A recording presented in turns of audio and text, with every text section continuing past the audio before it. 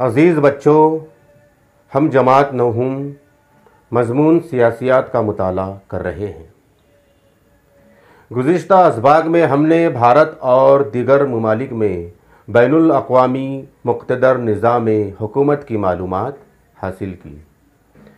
प्यारे बच्चों, आपने देखा कि भारत के दूसरे ममालिक के साथ भी नुमाया ताल्लुक़ अस्तवार हुए हैं। नीज़ हमने भारत के दिफाई निज़ाम के बारे में भी मुख्तलिफ़ मालूम हासिल की। जैसा कि आप जानते हैं कि हर मुख्तर मुल्क का एक दिफाई निज़ाम होता है। हमने पिछले इसबाक के ज़रिए अकवा मुतहदा यानी U N O United Nation organisation के बारे में भी मालूम हासिल की कि यूनाइटेड नेशन का क़याम क्यों अमल में आया?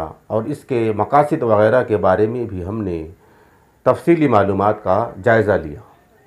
तो आइए अज़ीज़ बच्चों, अब इस सबक के ज़रिए हम बैन अवी मसाइल के बारे में मालूम हासिल करेंगे कई मसाइल सिर्फ़ एक ही मुल्क के ना होते हुए, कई मुल्कों पर इसके असरात मुरतब होते हैं।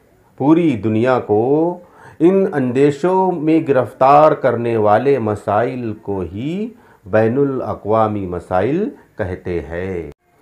तो प्यारे बच्चों, इन्हीं बैन अवी मसाइल को हल करने के लिए तमाम ममालिक की जानब से मुश्तरक कोशिशों की ज़रूरत होती है।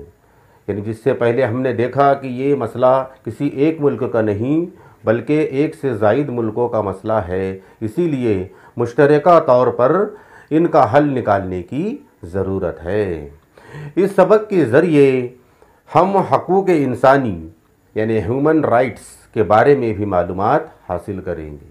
नीज़, माहौलियात, यानी इन्वामेंट जैसा कि माहौलियात भी इंसानी हकूक़ में शामिल किया गया है, इसका मुताला भी हम इसी सबक के ज़रिए करेंगे।